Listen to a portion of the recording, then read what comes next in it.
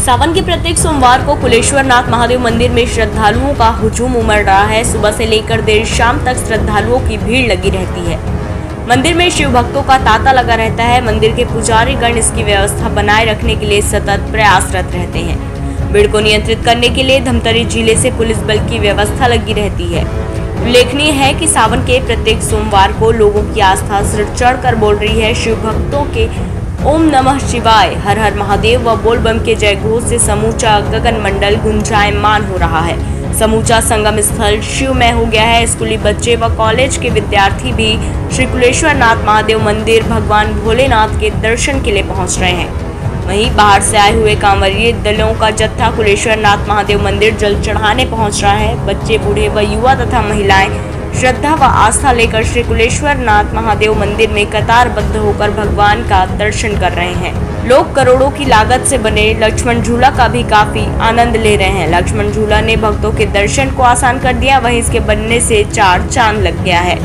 मंदिर में लोगों की काफ़ी भीड़ उमड़ रही है। निकट में स्थित लोमस ऋषि आश्रम में भी श्रद्धालुओं की काफ़ी भीड़ लगी रहती है।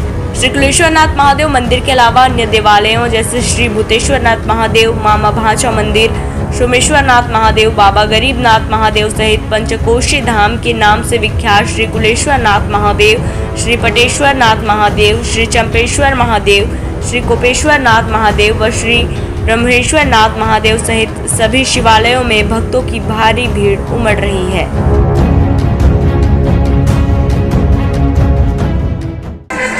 कुलेश्वर महादेव राजीव छत्तीसगढ़ का प्रसिद्ध तीर्थ स्थल है। यहाँ आकर मन तन सब प्रफुल्लित हो जाता है और दर्शन करने से आ, हमारी जो मांग मांगते हैं कुलेश्वर महादेव से मनोकामनाएँ पूर्ण होते हैं।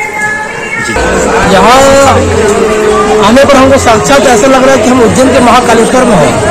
कुलेश्वर नाथ मंदिर हमारे बुज़ुर्ग में कहते हैं कि कुलेश्वर नाथ मंदिर तो मतलब ये है कि कुल का ईश्वर, कुल का ईश्वर, इसलिए महापति महादेव कृष्ण नाथ जी, हम दर्शन करने के लिए हज़ारों श्रद्धालु यहाँ, लाखों श्रद्धालु पहुँचते हैं। आज सावन सोमवारी दूसरा दूसरा सोमवार है है ना? जिसमें इतने श्रद्धालु भक्त पहुँचे हुए आप देख ही रहे हैं आप।